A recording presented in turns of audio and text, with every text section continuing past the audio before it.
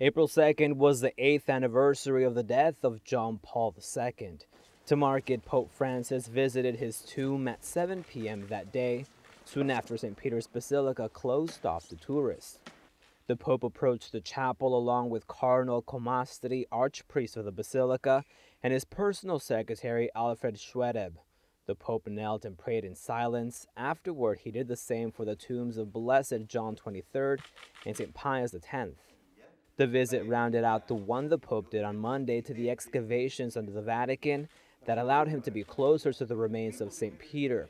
A guide explained to him step by step the evolution of the archaeological investigations done during the 20th century. During the special visit, the Pope walked all along the uncovered archaeological remains before going to St. Peter's tomb.